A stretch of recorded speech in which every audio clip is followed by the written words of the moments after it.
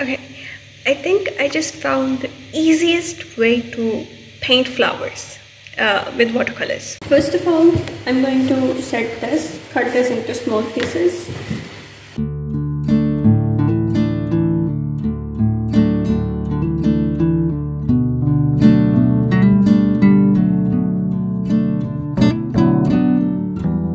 Lesson learned, do not fold the watercolor pages. And now I have to cut all these edges.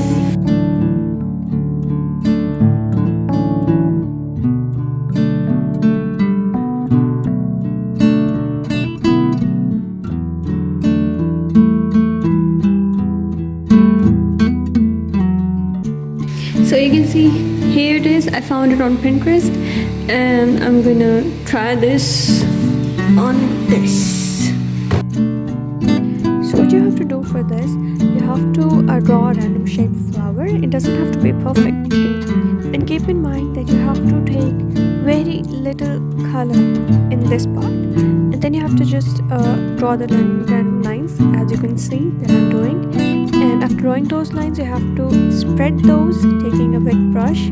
But that brush should not have color. And I kind of repeated this process. After spreading the color I defined it with some more lines using the thinner brush.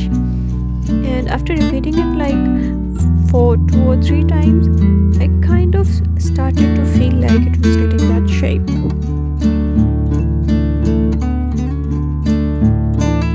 I defined it a little more and there it was, it was done.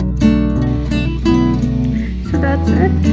Uh, that's how it looks that's how the one in the video looks. Okay not same but I think it could work